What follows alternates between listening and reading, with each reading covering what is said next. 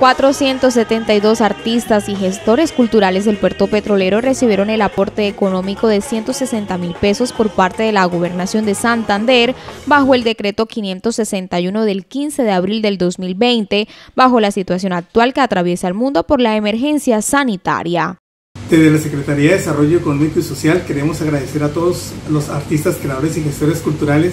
que nos han hecho llegar la documentación requerida por la gobernación de Santander para el desembolso de los 160 mil pesos de acuerdo al decreto 561 del 15 de abril de 2020. De esta cifra de beneficiados, aún quedan 160 personas pendientes por recibir el pago correspondiente. De igual manera, hacemos un llamado a todos los artistas, creadores y gestores culturales que aún no nos han enviado la documentación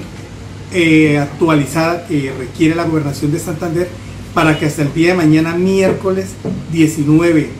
de agosto,